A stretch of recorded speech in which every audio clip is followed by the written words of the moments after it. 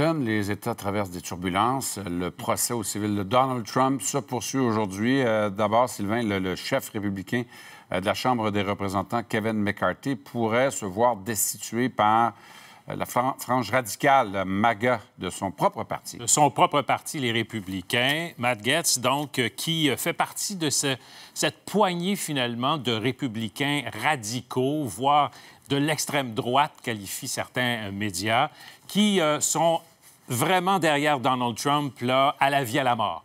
Et ces gens-là n'acceptent pas que le président de leur propre parti, les républicains sont, majoritaires à la Chambre des représentants, euh, ait négocié finalement, obtenu un, délai dans le budget. Là. Vous savez, on, parle souvent des shutdowns. Là, bon, on a décidé donc de s'entendre avec les démocrates pour remettre à plus tard, dans six semaines, un autre vote sur le fameux budget. Et ça, cette entente avec les démocrates, c'est conspué par cette frange radicale. Vous voyez Malguette, là, qui a déposé finalement hier soir une demande pour destituer le président. C'est presque du jamais vu, en fait, depuis plus d'un siècle. Je vais vous faire entendre, Matt Gaetz, et la réponse de Kevin McCarthy. Declaring the office of Speaker of the House of Representatives to be vacant. Resolved that the office of Speaker of the House of Representatives is hereby declared to be vacant.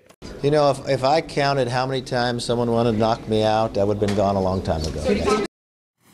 Alors, il pourrait y avoir un vote euh, aujourd'hui ou demain. Mais la première fois, Kevin McCarthy, vous vous souvenez, ça a pris 15 votes avant qu'il puisse euh, finalement donc devenir euh, président de la Chambre des représentants. À suivre. Donc, euh, ce qu'on suit aussi, Sylvain, évidemment, c'est la deuxième journée du procès pour fraude de Donald Trump, qui ben, continue où il a laissé hier.